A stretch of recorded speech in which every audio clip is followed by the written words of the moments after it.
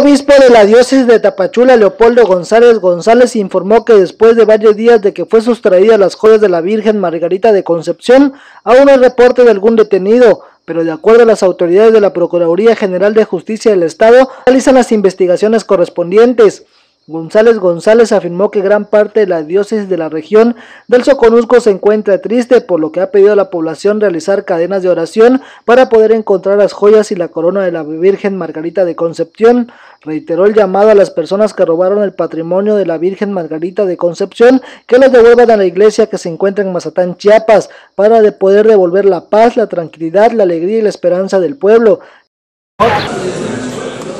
Al momento yo no tengo ningún otro reporte, sino lo que ha aparecido en el diario, que nos ha hablado de la constancia, del empeño de la autoridad en, la investigación. Hasta ahí es lo que yo conozco en relación a este asunto hasta ahorita. Quisiera pues de nuevo expresar el dolor que ha causado a, no solo el pueblo de Mazatán, este robo, sino a gran parte de los fieles católicos de la diócesis, porque la Virgen María en esta vocación de Margarita Concepción es la reina de la diócesis.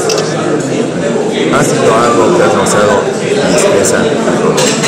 embargo, otras corporaciones policíacas trabajan para esclarecer el robo de la corona de la Virgen, el cetro, entre otros objetos de la imagen que contenía como medallones, cadenas, anillos, piedras preciosas y una diversidad de alhajas, con todo el valor a los 10 millones de pesos. Antes de Mazatán realizan oraciones dentro y fuera de la iglesia para que se esclarezca este robo y de inmediato regresen las prendas que le fueron sustraídas a la Virgen Concepción. Manuel Blanco con el 45.